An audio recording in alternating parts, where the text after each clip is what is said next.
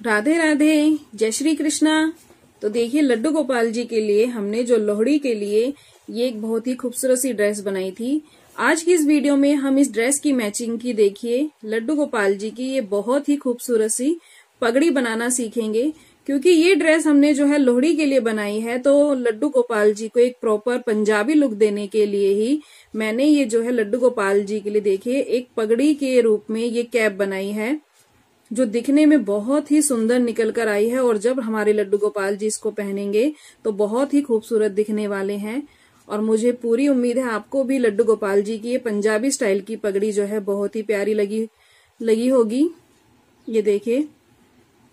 तो आज की इस वीडियो में हम इसी पगड़ी को जो है बनाना सीखेंगे।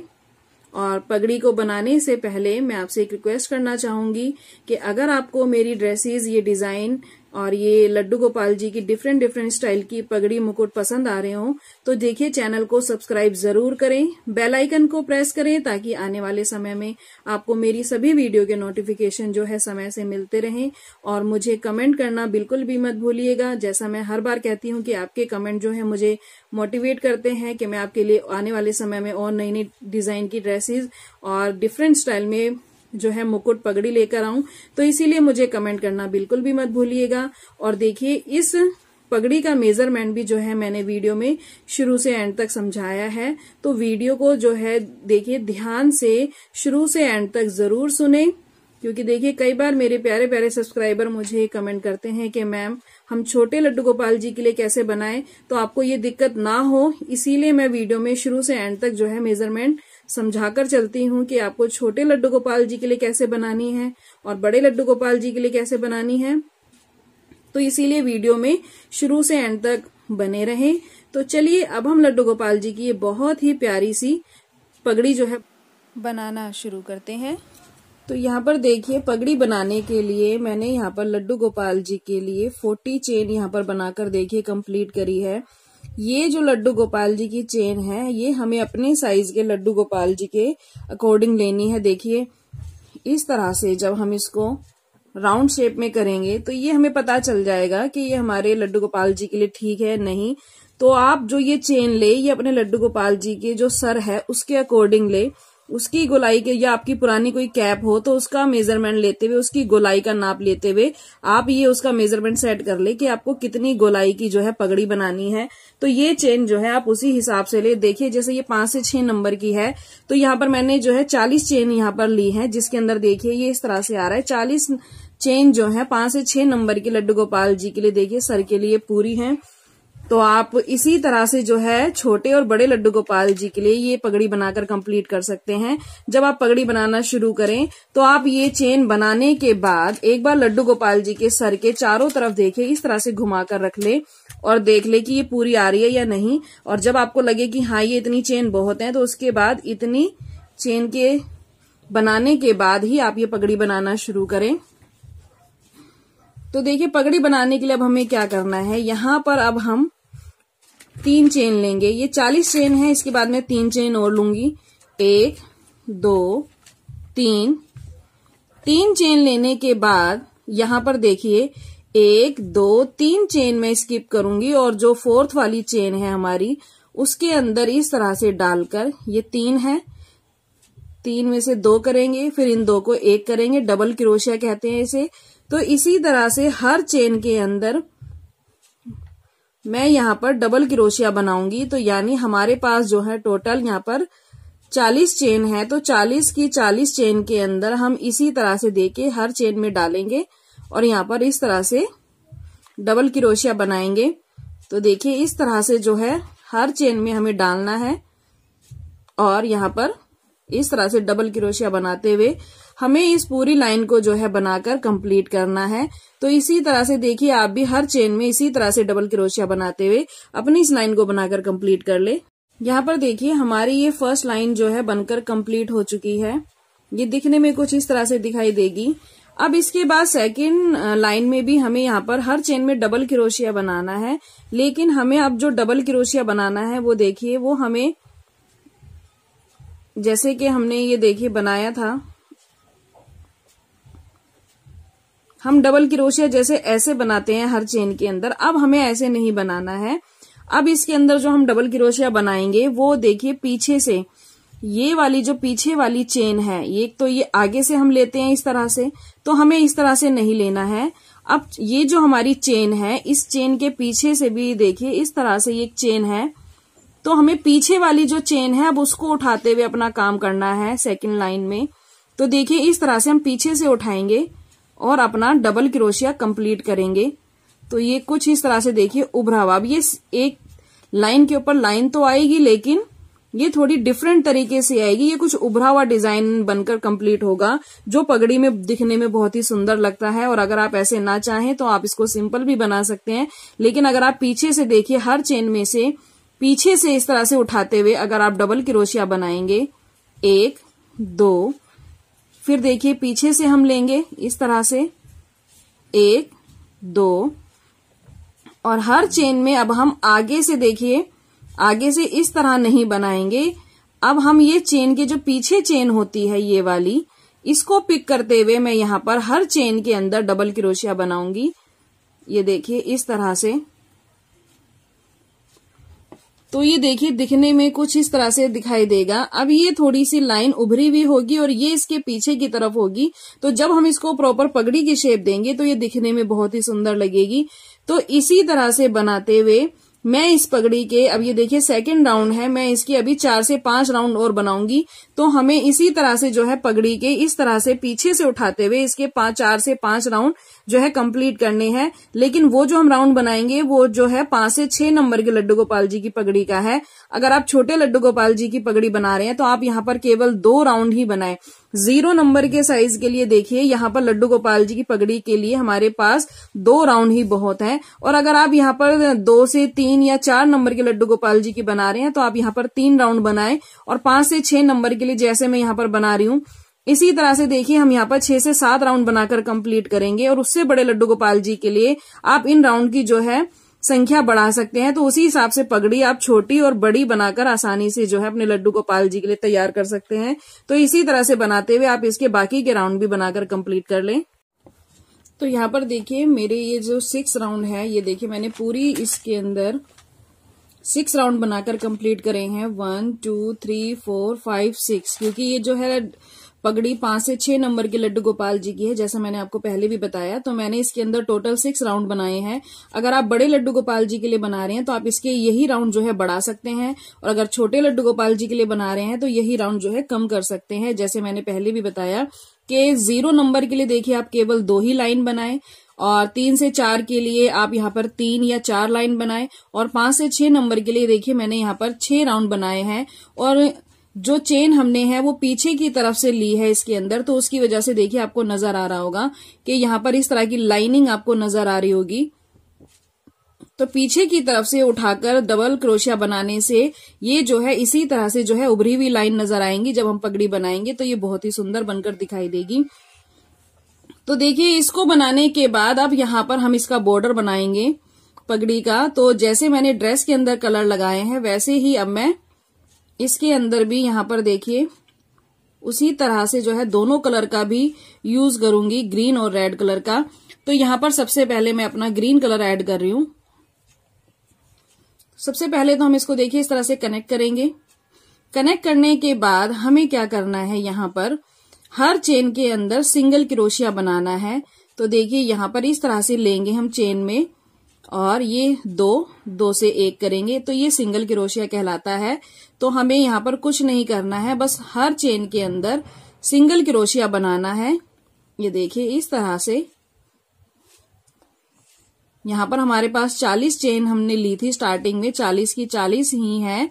और उन 40 चेन के अंदर हम इसी तरह से देखिए, यहाँ पर हर चेन के अंदर इस तरह से सिंगल क्रोशिया बनाते हुए ये देखिए, कुछ इस तरह से अपने इस बॉर्डर को बनाकर कंप्लीट करेंगे।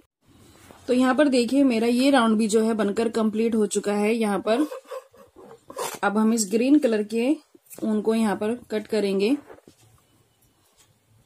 तो ये ग्रीन कलर का जो वर्क था, वो भी हमारा यहाँ पर कंप्लीट हो चुका है।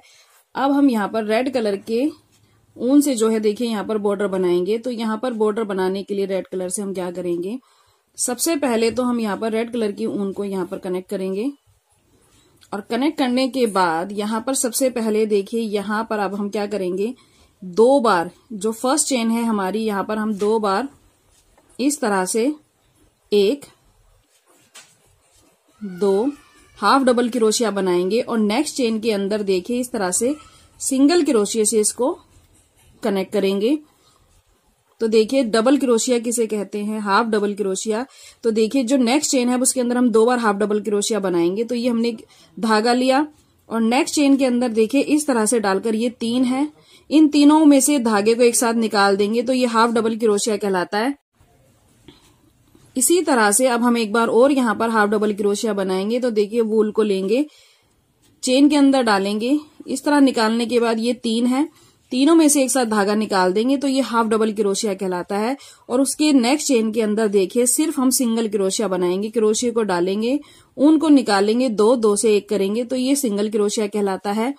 अब उसके बाद नेक्स्ट चेन के अंदर हम फिर से जो है, दो बार हाफ़ डबल क्रोशिया बनाएँगे, एक और ये दो, और नेक्स्ट चेन के अंदर सिंगल क्रोशिया। तो इसी तरह से देखिए, बनाते हुए अब हम अपने इस राउंड को बनाकर कंप्लीट करेंगे। तो ये देखिए, बनने के बाद ये कुछ इस तरह से आपको दिखाई देगा, रेड कलर का बॉर्डर बनने के बाद। जैसा कि आप देख पा रहे होंगे, ये जो है इसकी उल्टी साइड है और ये जो है इसकी सीधी साइड है। तो अब हमें क्या करना है, यहाँ पर, ये देखिए सीधी जो साइड है, उसको हम अंदर की तरफ़ रखेंगे, क्योंकि हम यहाँ पर स्टिचिंग करेंगे तो ये अंदर की तरफ़ हिस्सा रखेंगे। और ये उल्टी साइड को हम इस तरफ़ रखेंगे, जहाँ से हम स्टिचिंग करेंगे। तो यहाँ पर देखिए, इन दोनों को इस तरह से रखने के बाद आपस में इस तरह से कनेक्ट करेंगे। और यहाँ पर देखिए, इस तरह से इनको आपस में हम ज्वाइन करते हुए जाएँगे। और यहाँ पर आप एक चीज़ और कर सकते हैं। अगर आपको लग रहा हो कि आपकी पगड़ी का साइज़ बड़ा हो गया है तो आप यहाँ पर देखिए स्टिचिंग को जो है, थोड़ा आगे से लेकर इस पगड़ी को यहीं के यहीं पे टाइट कर सकते हैं। और नहीं तो आप बाद में भी यहाँ पर अंदर की तरफ़ से जो है, इसको स्टिचिंग करके टाइट कर सकते हैं। लेकिन अगर आपकी छोटी हो गई है तो उसके लिए आपको दोबारा बनानी पड़ेगी। इसीलिए मैंने आपको पहले ही बताया था कि ये बनाते समय चेन जब पहली चेन बनाए तो उसी समय पे अपने लड्डू गोपाल जी के सर के चारों तरफ़ देखिए, घुमाते हुए आप अपना मेज़रमेंट जो है सेट कर लें तो उससे आपको कभी भी प्रॉब्लम नहीं आएगी। तो यहाँ पर देखिए, इसी तरह से स्टिचिंग करते हुए हमें अपने इन दोनों जॉइंट्स को जो है आपस में कनेक्ट करते हुए जाना है और हमें इनको आपस में कनेक्ट करते हुए ऊपर तक लेकर आना है।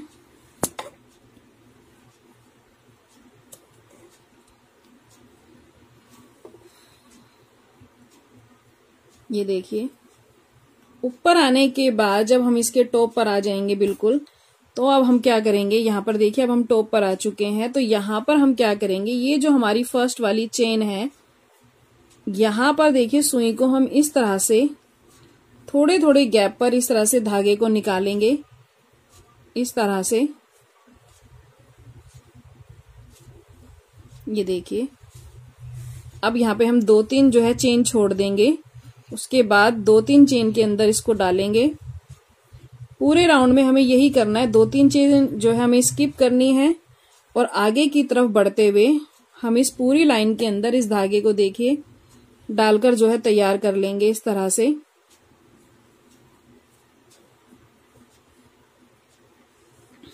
तो ये देखिए, अब मैं कैप के जो है एंड में आ चुकी हूँ।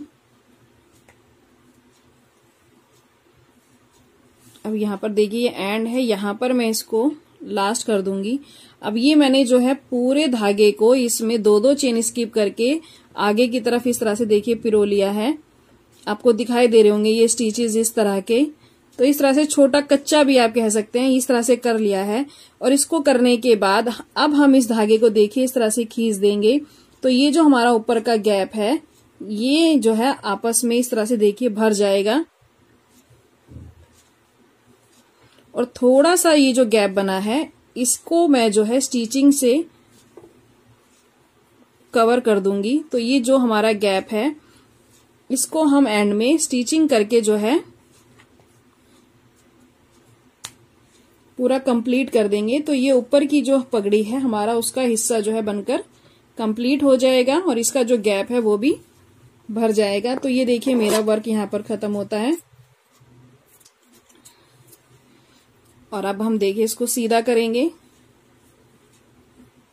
तो ये देखिए, सीधा करने के बाद आपको दिखाई दे रहा होगा, इसके गैप जो है भरकर कंप्लीट हो चुका है और ये हमारे लड्डू गोपाल जी की जो पगड़ी है, वो बनकर कुछ इस तरह से अभी आपको दिखाई देगी।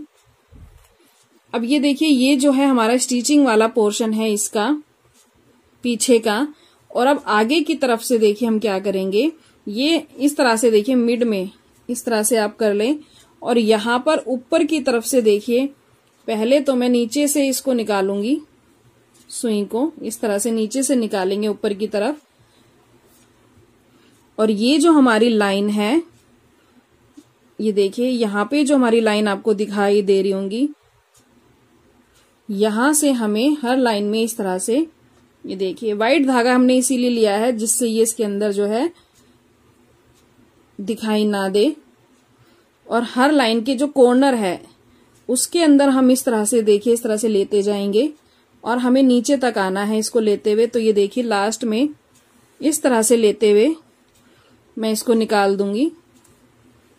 और निकालने के बाद हमें इसको सिर्फ़ उतना ही खींचना है, ये देखिए धागे को, जितने में ये पगड़ी की शेप ले ले।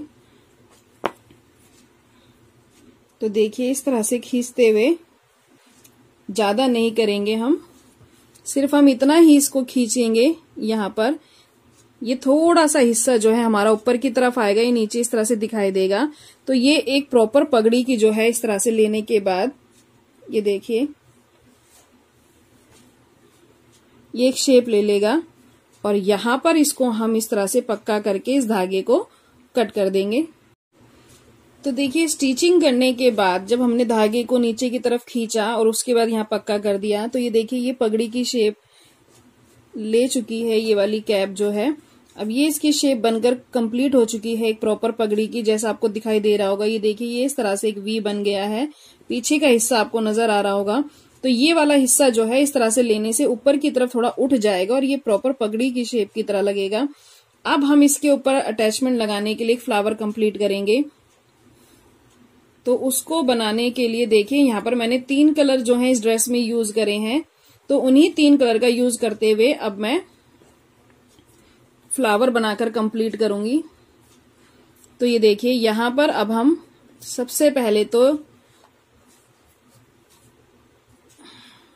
देखिए, इस तरह से धागा लेंगे। उसके बाद यहाँ पर मैं चार चेन लूँगी। एक, दो, तीन, चार। चार चेन लेने के बाद ये जो फ़र्स्ट चेन है, यहाँ पर हम स्लिम स्टिच से इसको कनेक्ट करेंगे। कनेक्ट करने के बाद अब ये जो होल है, यहीं पर हमें काम करना है। तो यहाँ पर देखिए, मैं इस तरह से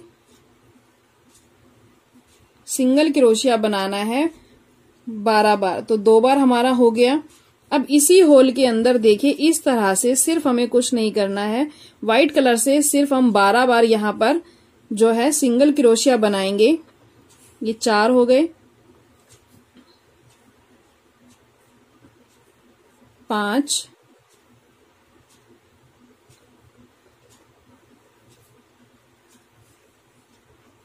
छ। सात।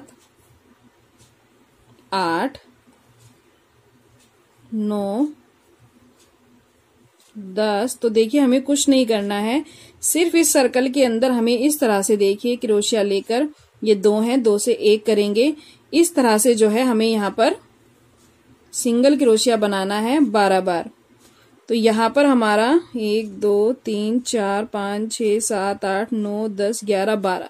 बारह बार जो है ये देखिए सिंगल क्रोशिया बनकर कंप्लीट हो चुका है। तो यहाँ पर हमारा अब व्हाइट कलर की उनका वर्क जो है खत्म होता है।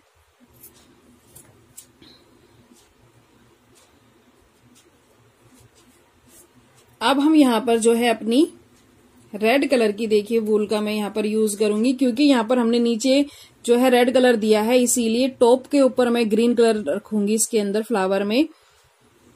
और सेकंड नंबर पर मैं यहाँ पर रेड कलर रखूँगी। और अगर आप इसको छोटे लड्डू गोपाल जी का बना रहे हैं ज़ीरो नंबर के तो आप खाली छह ही ये ले।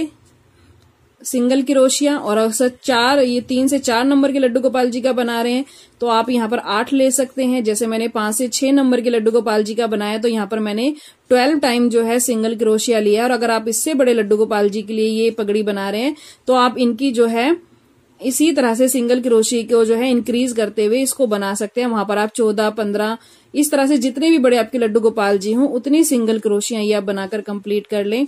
और उसके बाद देखिए, यहाँ पर जो हमारी पहली वाली चेन थी। यहीं पर अब मैं रेड कलर को स्टार्ट करूँगी। और यहाँ पर देखिए, हमें सिर्फ़ इसको कंट्रास्ट देना है यहाँ पर। तो यहाँ पर हम इंक्रीज नहीं करेंगे। यहाँ पर हर चेन के अंदर, जैसे हमारे पास बारह है तो बारह के बारह के अंदर हम यहाँ पर सिंगल क्रोशिया ही बनाएँगे। ये देखिए इस तरह से। हर चेन में लेंगे। और ये इस तरह से देखिए सिंगल क्रोशिया बनाना है। ताकि इस चेन के ऊपर जो हमारी व्हाइट कलर की है, इसके ऊपर एक रेड कलर का जो है, इस तरह से कंट्रास्ट आ जाए। तो देखिए, इसी तरह से बनाते हुए मैं अपने इस राउंड को कंप्लीट करूँगी। तो यहाँ पर देखिए, हमारा रेड कलर का वर्क भी जो है, यहाँ पर कंप्लीट होता है। और इस धागे को देखिए, मैं थोड़ा सा बड़ा रखकर ही काटूँगी, क्योंकि इसको स्टिचिंग करने में हमें ये काम आएगा। और उसके बाद अब हम ग्रीन कलर के वर्क से इसको कंप्लीट करेंगे तो यहाँ पर सबसे पहले मैं इसको कनेक्ट करूँगी। कनेक्ट करने के बाद, यहाँ पर देखिए, इस तरह से कनेक्ट करने के बाद, अब यहाँ पर मैं तीन चेन लूँगी। एक, दो, तीन, और जहाँ पर हमने ये देखी, ये चेन ली है, वहीं पर अब हम तीन बार निकालेंगे इस तरह से। एक, दो ये तीन का पफ हो गया हमारा। इस धागे को देखिए, यहाँ पर होल्ड करेंगे। सब में से एक साथ निकालेंगे। होल्ड करे हुए धागे को पिक करेंगे। दो दो से एक करेंगे। तो ये हमारा यहाँ पर इस तरह का एक पफ बनकर कंप्लीट होगा। यहाँ पर मैं एक चेन लूँगी। और इससे जहाँ पर हमने ये पफ बनाया, उससे नेक्स्ट वाली चेन में यहाँ पर देखिए सिंगल क्रोशिया से इसको इस तरह से कनेक्ट करूँगी। उसके बाद नेक्स्ट चेन फिर देखिए यहाँ पर हम यहाँ पर तीन की चेन लेंगे। एक, दो, तीन। तीन चेन लेने के बाद नेक्स्ट चेन में दोबारा से इसी तरह से पफ बनाएँगे। एक, दो, तीन। ये तीन हो गए। धागे को देखिए होल्ड करेंगे। सब में से एक साथ निकालेंगे। एक साथ निकालने के बाद होल्ड करे हुए धागे को देखिए पिक करेंगे। दो दो से एक करेंगे। एक की चेन लेंगे और जो नेक्स्ट चेन है, उसके अंदर सिंगल क्रोशिए से इस तरह से कनेक्ट करेंगे। तो ये कुछ इस तरह से देखिए फ्लावर बनकर कंप्लीट होगा और इसमें चारों तरफ़ मैं इसी तरह से बनाकर इस फ्लावर को कंप्लीट करूँगी। तो यहाँ पर देखिए, हमारी जो है पगड़ी की मैचिंग का ये फ्लावर बनकर कंप्लीट हो चुका है और यहाँ पर इसको और अच्छा लुक देने के लिए मैंने इसकी मैचिंग का यहाँ पर रेड कलर का देखिए, ये पर्ल जो है यहाँ पर स्टिच कर दिया है। मैंने इसको पेस्ट नहीं किया है। मैंने यहाँ पर इसको स्टिच किया है ताकि वॉशिंग में भी कभी किसी तरह की कोई प्रॉब्लम ना आए। तो देखिए, अगर आपको इस तरह का फ्लावर बनाने में कोई दिक्कत आ रही हो तो मार्केट में देखिए, कुछ इस तरह की जो है, देखिए अटैचमेंट भी मिलती हैं। आप चाहें तो इनको भी जो है पगड़ी में लगा सकते हैं। ये देखिए। आप इस तरह से देखिए, पगड़ी में इनको पेस्ट कर सकते हैं या स्टिच भी कर सकते हैं। इनमें निशान बना होता है स्टिचिंग का भी। तो देखिए, ये भी जो है दिखने में बहुत ही खूबसूरत लगते हैं, लेकिन मैंने ड्रेस की मैचिंग का ये फ्लावर बनाकर कंप्लीट किया है, जो दिखने में और भी सुंदर लगेगा। और अब हम इसको जो है पगड़ी में स्टिच कर देंगे। तो यहाँ पर देखिए, पगड़ी के सेंटर में जहाँ पर ये वी बना हुआ है, इसके ठीक ऊपर इस तरह से रखते हुए अब हम इसको जो है स्टिच करेंगे। तो नीचे की तरफ़ देखिए, सुई को ले जाएँगे और नीचे से ही ऊपर की तरफ़ लाएँगे। और जब हम स्टिचिंग करेंगे तो जो सुई है, हम रेड कलर के जो पोर्शन है हमारा, वहाँ से हम इसको निकालेंगे। क्योंकि हमने रेड कलर का धागा यहाँ पर स्टिचिंग के लिए यूज़ किया है तो हम रेड कलर की वर्क में ही इसको देखिए, स्टिचिंग के लिए यूज़ करेंगे। ताकि ये दिखाई भी ना दे। और इसी तरह से देखिए स्टिचिंग करते हुए इस पूरे फ्लावर को मैं पगड़ी के अंदर जो है सेट कर लूँगी।